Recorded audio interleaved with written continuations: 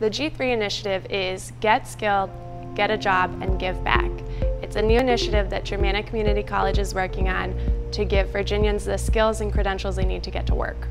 So the Virginia Community College system came up with this concept and they came up with it after looking at job data throughout the state. And they realized that we have these five areas where we need people to work.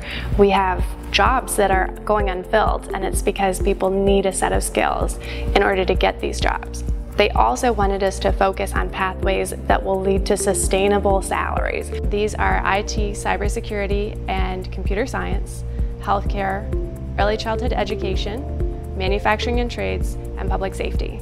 For these five targeted pathways, Germanna is going to be restructuring, adapting, and expanding curriculum so that students start working on skills first and work on general education credits later. So we're working with businesses in this area and saying, what skills do your employees need so that we can help Virginians in our area get them? The nice thing about G3, especially in these pathways, is that students can start, get a certificate, and begin working in their field. They can start earning money and continue to work on their degree, work on building those credentials in. G3 makes it really easy to on-ramp into any of these certification levels and ramp back off into the workforce. So you might start with your certificate, go out and get a job, and want to go to that next level, get that promotion.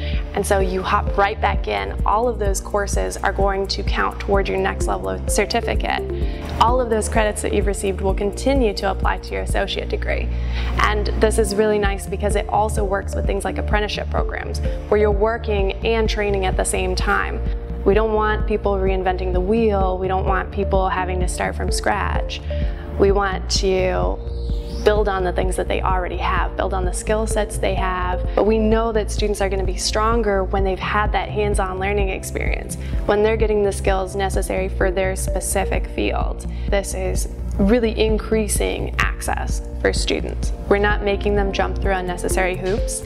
And so Career and Transfer Center, workforce, all of the people working on G3 are going to be helping students get those internships, get interviews, get work-based learning, and get community service, which is going to help support our area, but also give students an opportunity to put the skills that they're learning in the classroom into action and see how they're actually able to use those.